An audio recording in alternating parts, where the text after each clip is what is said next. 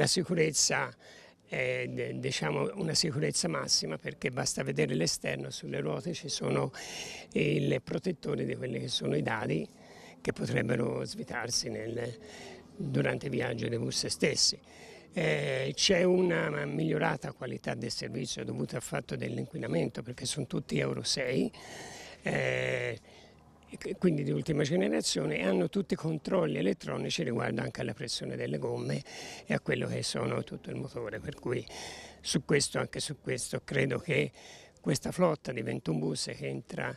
in servizio darà un contributo a quella che è la percezione di sicurezza e qualità del servizio sul nostro territorio.